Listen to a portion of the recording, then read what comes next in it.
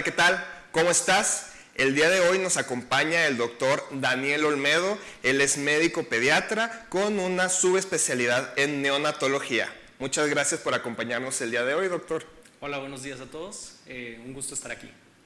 Bueno, me gustaría empezar preguntándote qué es un neonatólogo y cuáles son los principales motivos de consulta por el que van contigo. Bueno, este, para poder decirlo como en palabras simples, podemos decir que somos los doctores de los bebés.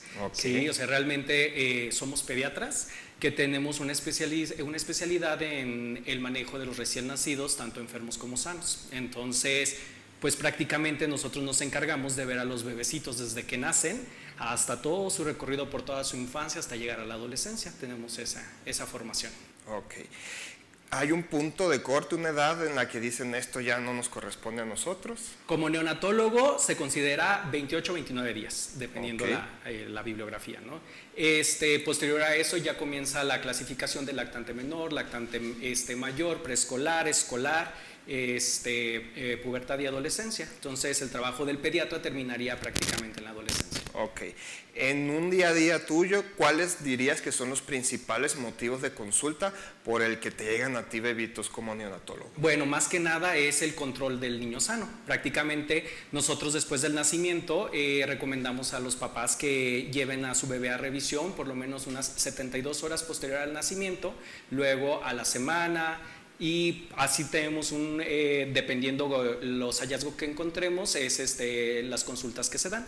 En general, el principal trabajo fuera de una institución de un neonatólogo es el eh, seguimiento del niño, del niño sano. Primero, para ver cómo está la lactancia materna, que es de las principales cuestiones que más trabajamos y en la que más nos enfocamos, la ganancia de peso, algunas cuestiones como presencia de coloración amarilla en la piel, que se conoce como ictericia y esas situaciones.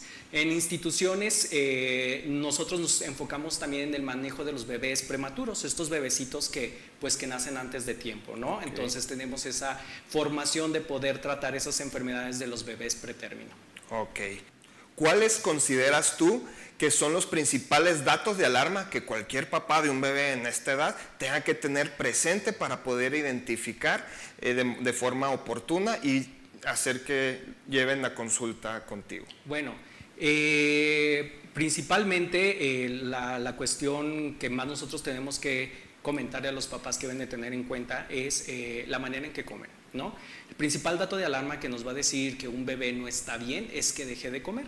Entonces, desde que están, eh, la mamá está con el bebé en, el puerperio, que es cuando recién nace y nosotros empezamos a trabajar con la lactancia, les enseñamos a las mamás a identificar eh, la manera en cómo succiona el bebé, la fuerza en cómo succiona, vemos la, técnica de lactancia, que tenga una buena agarre, una buena apertura de la boca, etcétera. Y esto hace que ellas vayan conociendo al bebé y vamos viendo cómo es su relación. Entonces el principal dato de alarma que nosotros le decimos a, los papás es justamente ese, que deje de comer el bebé, que le cueste trabajo despertarlo para darle de comer, que, esté, que la succión sea débil, ¿no? Entonces, es una de las principales cuestiones que nos dice. También la presencia de fiebre, temperatura mayor de 38 grados es un dato de alarma que se tiene que, que, verificar. Los cambios de coloración que puedan tener el bebé, el bebé que se ponga muy pálido, el bebé que se ponga muy amarillo, por ejemplo, son datos de alarma que ellos tienen que tener y que nosotros se los hacemos recordar antes de irse de alta. Otra de las situaciones, la presencia de vómito, ¿no? Eh, dependiendo de las características de lo que se vomite, es una urgencia si el vómito es color verde o, por ejemplo, si tiene sangre, ¿sí? Eh, cuando, cuando presenta más de tres vómitos seguidos, por ejemplo, después de una toma, eh, es otro dato de alarma. Y uno de los datos que hacemos mucho más hincapié también son los datos de dificultad respiratoria. Los bebecitos, pues a diferencia de cualquier otro paciente y niño mayor, no nos va a decir que está mal o que está respirando mal, ¿no? Entonces nosotros enseñamos a los papás a identificar qué es lo que puede estar ocurriendo en el bebé que nos llame la atención, que nos diga que no está respirando bien. Por ejemplo, el aleteo de las narinas. Yo siempre les digo a los papás que si, que si ven cómo respiran los conejitos, ¿no? O sea, que respiran, mueven las aletas nasales mucho. Un bebé no debe hacer eso. Si lo llega a hacer es un dato de dificultad respiratoria que se ponga azulito morado alrededor de la boca, que el huequito que tenemos aquí se hunda, que se le marquen mucho las costillas. Esos son los datos en los que nosotros trabajamos porque son urgencias que pues se deben de tratar en en un servicio de urgencias tal cual. Bastante pertinente esta información para que todos la conozcamos. Y ya para finalizar, me gustaría preguntarte cuáles son las principales medidas preventivas que pueden tomar los papás eh, para evitar que su hijo tenga alguna complicación. Bueno, la principal y la que vamos a estar siempre promocionando va a ser la lactancia materna. Definitivamente se ha estudiado muchísimo y ha habido muchísimos estudios en donde se observa que los niños que tienen eh, lactancia materna desde el nacimiento tienen mejor desarrollo, tanto intelectual como de peso, tienen este, mejores defensas, por así decirlo, ya que la mamá le pasa todos estos nutrientes, defensas este, por la leche. Eh, es una de las principales. De las otras eh, extras que podemos complementar a la lactancia materna, pues definitivamente es la higiene de manos, ¿no?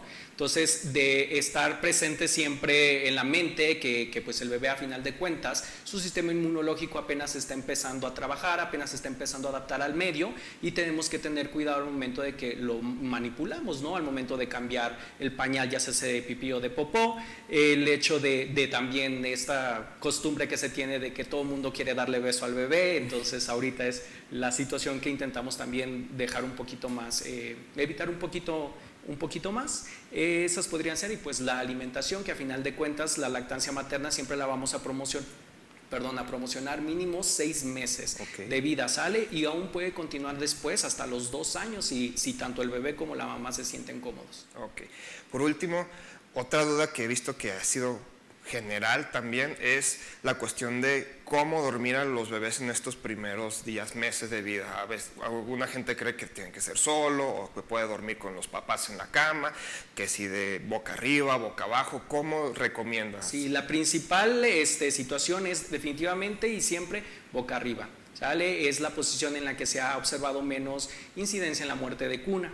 También se recomienda que no esté, haya, que no esté muy arropado, que no esté completamente arropado, para que también se tenga una visualización de, cómo está el bebé. Eh, no tener tantos objetos alrededor, tantas almohadas, tantos peluches, eh, para evitar que el bebé cuando empiece este momento de, empezar a rodar tampoco sea un objeto que pudiera obstruir la vía aérea. Y este, pues definitivamente serían como las, las posiciones ideales. Perfecto. Pues muchísimas gracias, doctor. Agradezco que te hayas tomado el tiempo de venirnos y que nos compartas toda esta información tan importante. ¿Nos podrías compartir dónde te podemos encontrar y cuáles son tus redes sociales, por favor? Sí, bueno, ahorita este eh, puede ser en, Instagram como doctordanipedia.neos. Este, el teléfono es 477-371-2084 para consultas y para este, alguna orientación. Eh, correo es este, doctordanipedia.neos este, arroba gmail.com. Ok, muchísimas gracias. De todos modos, les dejamos nuestras redes sociales aquí en pantalla por si quieren comunicarse con cualquiera de nosotros. Muchas gracias, doctor. Gracias.